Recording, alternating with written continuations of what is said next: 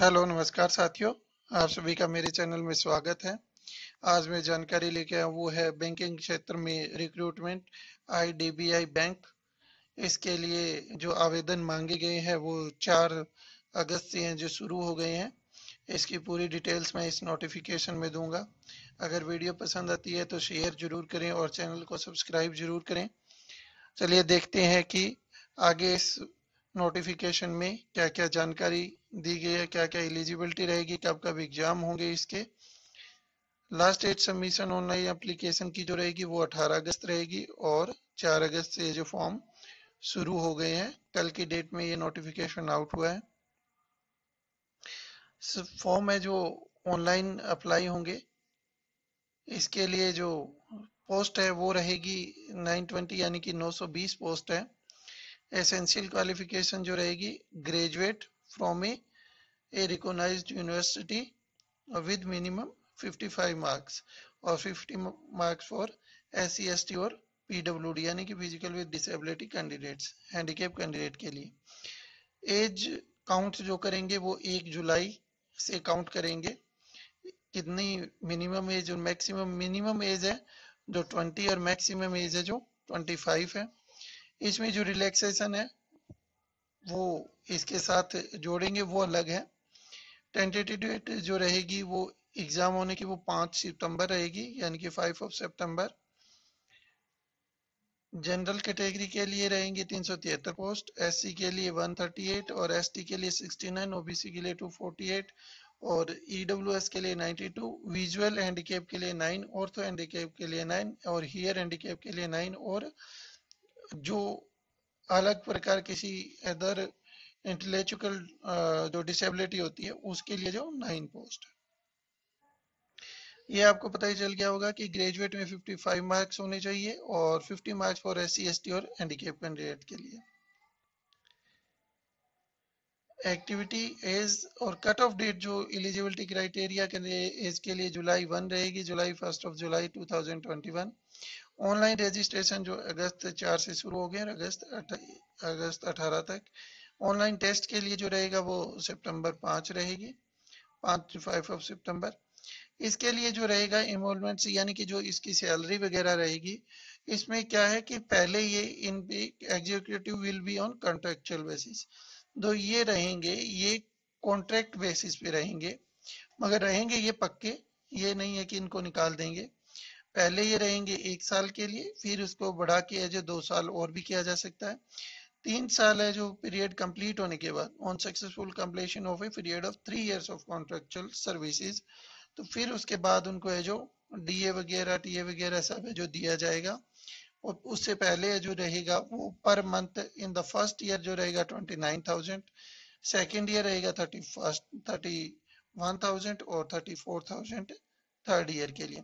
उसके बाद क्या होता है कि these executive shall not be entitled to draw any allowance such as D और एच आर ए जब ये फ़र्स्ट सेकंड और थर्ड ईयर के लिए रहेंगे कॉन्ट्रैक्ट बेसिस तब तक उनको डी और एच आर ए नहीं मिलेगा अदर अलाउंसेस जो नहीं मिलेंगे।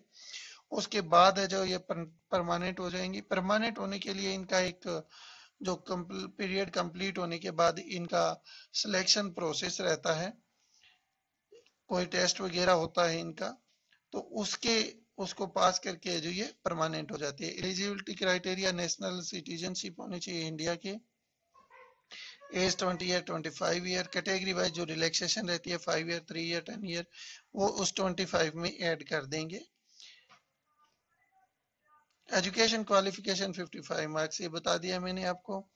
और candidate must possess marksheet degree certificate, he is graduate on July first of 2021 जो वही कैंडिडेट अप्लाई कर सकते हैं जिनका बीए में है, जो पास हो गया है,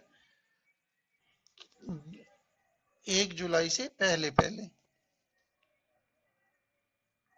उसके बाद जो रहेगा नॉन रिफंडेबल एप्लीकेशन फ़ी और इंटीमेशन चार्जेस जो रहेंगे टू हंड्रेड रुपीज़ रहेंगे एस सी और हैंडीकेप कैंडिडेट के लिए और वन थाउज़ेंड रहेंगे फॉर ऑल अदर्स जैसे जो भी कैंडिडेट्स है, जैसे जनरल के ओबीसी के, उनके सभी के चार्जेस कितने हैं? वन थाउज़ेंड यानी कि पहले से फ़ीस है जो अभी और बढ़ा दी गई है। हाउ टू अप्लाई कैसे अप्लाई करेंगे? इसके लिए जो, इसमें सबसे पहले आपके पास scan photograph signature left thumb impression जैसे आईबीपीएस के फॉर्म फिल होते हैं, वैसे ही ये फॉर्म फिल होगा।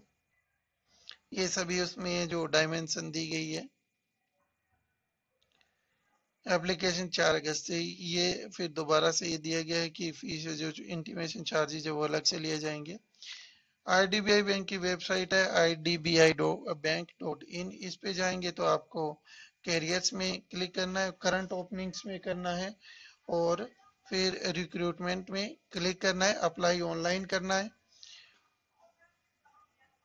उसके बाद फॉर्म को फिल करना है जो जो चीज़ें मांगी वो अपलोड कर देंगे। पेमेंट जो फ़ीस की रहेगी वो ऑनलाइन डेबिट होगा नेट बैंकिंग से डेबिट कार्ड से, किसी से भी कर सकते हैं। एज जो रहेगी वो टेंथ और ट्वेल्थ स्टैंडर्ड मार्कशीट पे जो काउंट की जाएगी। टेंथ स्टैंडर्ड के जो मार्कशीट पे जो एज रहेगी, उसके हिसाब से जो एज क्राइटेरिया जो काउंट किया जाएगा। वर्क एक्सपीरियंस है if declare in the application all the document जिस किसी को भी किसी प्रकार का एक्सपीरियंस है और उसने फॉर्म में दर्शा रखा है तो वो है जो बाद में भी आपके पास रहना चाहिए। उसका सर्टिफिकेट वगैरह। कैश सर्टिफिकेट होना चाहिए। इकोनॉमिकली वीकर सेक्शन के लिए कैटेगरी कैंडिडेट्स के, उनके लिए भी होना चाहिए। हैंडीकेप कैंडिडेट फ़ोटो आइडेंटिटी सही है, सब होना चाहिए। सिलेक्शन प्रोसेस रहेगा, जो प्रीलिम एग्ज़ाम होगा, वो रहेगा 150 मार्क्स का। 90 मिनट्स का टाइम होगा रीजनिंग, वर्क, इंग्लिश लैंग्वेज और quantitative aptitude. Penalty for wrong answer है। वो 0.25 जैसे आईबीपीएस में होती है, वन फोर्थ वैसे ही रहेगा।